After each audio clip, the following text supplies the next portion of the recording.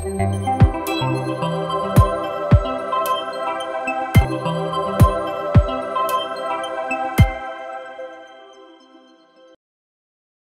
လုံးပဲမင်္ဂလာပါဗျ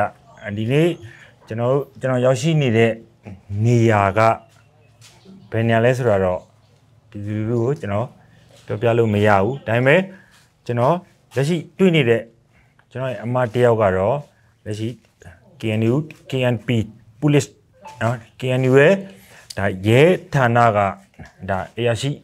တယောက်နဲ့ကျွန်တော်တို့ဆုံတွေ့နေတာဖြစ်တယ်အဲ့တော့အမတာဝန်ထမ်းဆောင်တဲ့အမရဲ့ပုံစံလေးနဲ့အမရဲ့နာမည်လေးတစ်ချက်လောက်မိတ်ဆက်ပေးပါဦးမဟုတ်ကဲ့ကျွန်မနာမည်နော်ထီမှုပေါ်ပါဒီတမဟာ6ဒူပလာယာခရိုင်မှာဒီခရိုင်ရုံးဖွဲ့ဖြစ်ဟုတ်တောင်းထမ်းဆောင်နေပါတယ်ဟုတ်ဟုတ်ဟုတ်ဒီရုံပွဲမှုပဲတာဝန်ထမ်းဆောင်တဲ့အချိန်မှာအမတို့အနေနဲ့ဒီဒီမှာပေါ့နော် တချို့တွေကဒါကျွန်တော် line ပေါ်မှာဆိုလို့ရှိရင်အဲတချို့တွေကသတင်းမားတွေလွှင့်ကြရင်မှာ PDF ရဲမေးလေးတွေကဘယ်လိုဖြစ်တယ်ညာလိုဖြစ်တယ်ဆိုရင်သတင်းမားတွေလွှင့်ကြတဲ့ဟာတွေအများကြီးရှိတယ်ပေါ့အဲ့တော့ PDF ရဲမေးတွေကတကယ်ဒီဟိုဟာဟိုဟို KNU ရဲ့အောက်ကို PDF တယောက်ဖြစ် PDF ရဲမေတယောက်ဖြစ်ရောက်လာပြီဆိုတဲ့အချိန်မှာအမတို့အနေနဲ့ဘလို့ထိမ့်သိမ့်မှုတွေဘလို့စီကန်း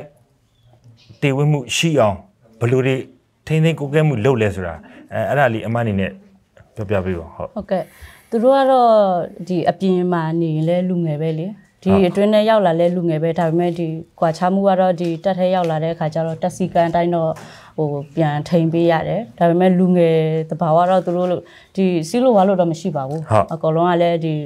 အဲဒီဘက်ကလူကြီးတွေကလည်းအကုန်လုံးသူတို့ကိုဒီတက်စီကမ်ပိုင်းဆိုင်ရာဒီဟာတွေအကုန်လုံးတင်ပေးတာပဲလေနော်ဒါလူငယ်တဘာဝအနေနဲ့သူတို့ရှိရှိတယ်လွလွတ်လပ်တယ်ဆိုလာလားဆိုတော့လည်းအရင်လွတ်လပ်တာမျိုးတော့မရှိပါဘူးဒီတိုင်းဟို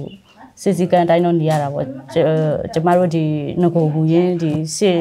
တက်လူမျိုးတော့တင်းတင်းကြက်ကြက်ကြီးတော့ မရှိပါဘူးကင်ကင်တွေ့တာမျိုးကတော့ဒါပေမဲ့ဟိုစီးတစ်ခုပေါ့စီးတစ်ခုတော့ထားရပေးတယ်သူတို့တော့ဟုတ်နဲဟိုပါပေါ့ဒီအမတို့ဒီ KNU ရဲ့ရဲဌာနအနေနဲ့ပေါ့ KNU ထိန်းချုပ်နယ်မြေတွေမှာအမတို့တရားစီရင်ရေးတွေအဲဒီလိုမျိုးအဲဟိုအမိန့်ချတာတို့ဘာတို့ ဖြစ်တဲ့အမှုပေါ်မူတည်ပြီးတော့မှအမတို့တွေဘယ်လိုဆောင်ရွက်နေတယ်ဆိုတဲ့ဟာလေဒါပြည်သူသိအောင်တစ်ချက်လောက်ပြောပြပေးပါဦးတရားစီရင်နေပဲဟုတ်ကဲ့ပြောလားဟုတ်ကဲ့ဟုတ်ကဲ့ကျမတို့ဒီမှာလဲဒီအရင်ကဒီဘုံမှုတို့အရင်ကြုံတွေးနေရတယ်လို့ပဲဗောဒီဘက်မှာလဲအဲတရားဥပဒေရှိတယ်ဒီဘယ်ကိစ္စမှမဆိုဗောဒီကျမတို့လဲဒီကိုမူရစေဝါဖြစ်စေဒီအာအမျိုးသမီးအကျန်းဖက်တာဖြစ်စေဗော ဒီလိုမျိုးတွေလဲကျမတို့ဘက်ချမ်းမှာဒီလိုမျိုးဥပဒေအကုန်ရှိတယ်လေဟုတ်ဟုတ်ကဲ့အဲဒီအတိုင်းမှာတော့ဥပဒေကအဓိကပဲလေဟုတ်အဲဟိုအမတို့ထိန်းချုပ်ထားတယ်အခုလက်ရှိထိန်းချုပ်ထားတဲ့နယ်မြေမှာအမတို့တရားစီရင်နိုင်နေပြီလားတရားမစီရင်နိုင်သေးဘူးလားဆိုတာအဲ့ဒါပြည်သူတစ်ချက်သိအောင်ပြောပြပေးပါဟောတရားစီရင်နိုင်ပါတယ်ကျမဟုတ်ကျမကဒီအဲခရိုင်ရုံးမှာလည်းတာဝန်ကြပြီးတော့ပြန်လာတာမကြသေးဘူးလေဟုတ်ကျမကိုယ်တိုင်လည်းအဲ့ရုံးမှာရုံးထိုင် နေတယ်ပေါ့ဟုတ်လက်ရှိဟုတ်အဲ့ဒါဆိုလို့ရှိရင်ကျွန်တော်တို့ဟိုဟိုဖော်ပြလို့ရမယ်ဆိုလို့ရှိရင်အမဘယ်နေရာဘယ်နေရာတွေကိုအဲကျွန်တော်တို့ KNU ကထိန်းချုပ်ပြီးတော့မှတကယ်ကိုတရားစီရင်နိုင်ပြီနိုင်နေပြီလေဘယ်နေရာတွေလဲအဲ့ဒါဖော်ပြလို့ရမယ်ဆိုရင်တော့အမပြောပြပေးဖော်ပြလို့မရဘူးဆိုရင်တော့မပြောနဲ့ပေါ့ဟုတ်ကဲ့ဒါကတော့ဖော်ပြလို့ရလားဆိုတော့တချို့ကတော့ဖော်ပြလို့မရဘူးဟုတ်ပေါ့ဟုတ်ကဲ့တချို့ကဖော်ပြလို့မရဘူးပြီးရင်လည်းဒီအဖွဲ့အစည်းတွေလည်းရှိရလေနော်ဟုတ်အဲ တချို့ကတော့တော်များများအခုအချိန်မှာတော့ဘယ်အဖွဲ့အစည်းမဆိုကဒီ KNU လည်းအောက်ကို KNU ဥပဒေလည်းတော့ဝင်လာကြပါပြီဟုတ်အဲ့ဒါဆိုရင်ကျွန်ကျွန်တော်ကဒါဖော်ပြလို့မရဘူးဆိုရင်ကျွန်တော်ကအမဟို message လေးတစ်ခုပြည်သူကိုပေးခိုင်းမယ်ပေါ့နော်ဒူပလာယာခရိုင်ထဲမှာဟုတ်ကဲ့ကျွန်တော်တမ6ခရိုင်ထဲမှာဘယ်နှစ်ရာခိုင်နှုန်းလောက်အထိအမတို့တရားစီရင်နိုင်နေပြီလဲရာခိုင်နှုန်းလေးအဖြစ်မယ်ပြောပြပေးရာခိုင်နှုန်းအဖြစ်ဆိုရင်တော့ 90ရာခိုင်နှုန်းလောက်ပေါ့ဟုတ်ဟုတ်ကဲ့အဲ့တော့ကျန်တဲ့30ရာခိုင်နှုန်းကလည်းကျန်တဲ့အဖွဲ့အစည်းတွေရှိနေတာရယ်ဟုတ်ကဲ့အဲကျန်တဲ့ကိစ္စလေးတွေဟုတ်တယ်ဟုတ်ရှိနေလို့အမှန်တကယ်စကားစားရဲ့စိုးမိုးနေမည်တော့မဟုတ်ဘူးဟုတ်ကဲ့အမားတို့ကကျန်တဲ့အဖွဲ့အစည်းတွေရှိနေလို့သာလျှင်အဲဒီလိုမျိုးလေးဟိုဖြစ်နေရတယ်ဆိုတဲ့ဟာပေါ့နော်အဲကျန်တဲ့30ရာခိုင်နှုန်းကအဲ့တော့အဲနောက်တစ်ခုအနေနဲ့ဒီအမအခုတာဝန်ထမ်းဆောင်နေတဲ့အမရဲ့တက်အောက်မှာ အမျိုးသမီးကျွန်တော်ဟိုဟာပေါ့ PDF အနေနဲ့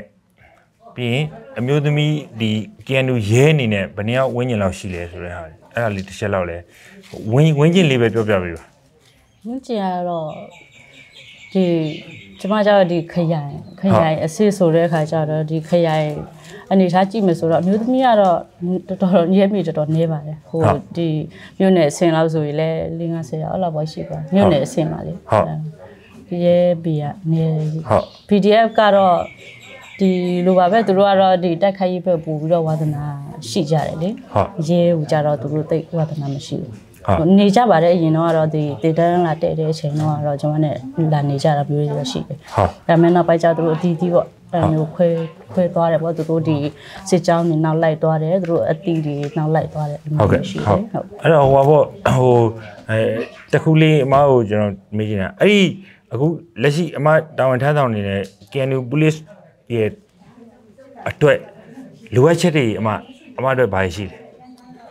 ဟိုအချက်ကတော့ ကိုကဒီလိုမျိုး PDF အနေထားမှမဟုတ်ဘူးဒီကရင်လူငယ်ပိုင်းတောင်မှပေါ့နော်ဒီရဲဆိုရင်သိပ်စိတ်ဝင်စားကြဘူးဟုတ်အေးရဲအလောက်ကကြတော့ဒီတိုက်ခိုက်ရေးမဝင်ရဘူးလေကျမဆိုလည်းအတိုင်းပဲကျမဆိုအခုဆိုရေရှေ့တန်းနေပါသွားမယ်ဆိုရင်ဘယ်သူမှမလုပ်ဘူးအဲ့လိုမျိုးလေဟိုတိုက်ခိုက်ရေးနဲ့မဆိုင်ဘူးပေါ့အဲ့ဒီခါကျတော့อืมရဲရဲကိုကြတော့တိတ်ပြီးတော့အာမတာကြဘူးလေဟုတ်အင်းအားလို့တာပေါ့နော်ပြီးတော့ပြည်သူကို အမအနေနဲ့တော်လိုင်းရေးမှာရှေ့ဆက်သွားဖို့အတွက်အမအနေနဲ့ဗာပြောချင်တယ်တော်လည်းကကိုကတချို့ကတော့စိတ်ပြပြတာမျိုးတွေရှိလာတယ်လေဒါပေမဲ့ပြီးတော့မှာပါဟုတ်ဟိုဘယ်လိုပြောပန်းတိုင်ရောက်ခါနီးပါပြီဟုတ်ဒီအတွက်အာမလျှော့ပါနဲ့လို့ဆက်ပြီးတော့ရှေ့ဆက်ပြီးတော့ဗောနော်ကိုနိုင်တဲ့ဘက်ကနေပြီးတော့တယောက်နည်းနည်းပေါ့အုတ်တစ်ချက်သေးတဲ့ဘွေးအနေနဲ့အဲ့လိုမျိုးပါဝင်ပြီးတော့ဆက်ပြီးတော့တွန်းကြရမှာပေါ့နော်အဲ့ဒါမှအာ ပြန်တူတွန်းရင်တော့ရောက်မှာပဲလေနော်ပန်းတိုင်ပေါ့အဲ့ဒါဟုတ်အဲ့ဒါပြည်သူတွေအားလုံးလက်မလျှော့ပါနဲ့လို့ဟုတ်